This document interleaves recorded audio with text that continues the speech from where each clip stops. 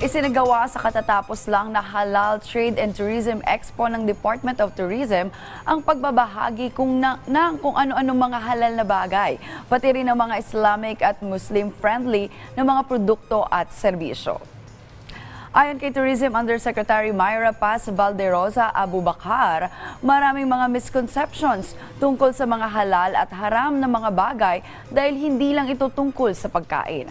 Para naman sa Islamic Dawa Council of the Philippines Incorporated, bukod sa pinagbabawal ang pagkain ng baboy, pag-inom ng alak at ang pagsusugal, ang halal ay isang way of life.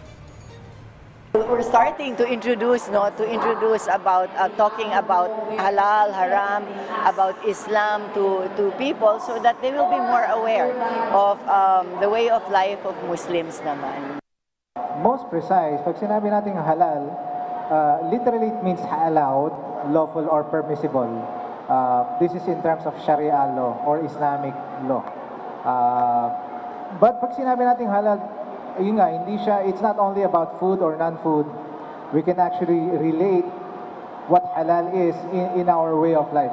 Lahat ng mga ikakagalit ng God, which is the Creator, yun ang haram. So lahat ng masama, lahat yun ay haram. Uh, that includes, uh, let's say for example, uh, gambling, uh, ano pa, drinking alcoholic drinks, sabi ni ma'am, stealing, lahat ng hindi maganda, lahat ng masama, that's haram.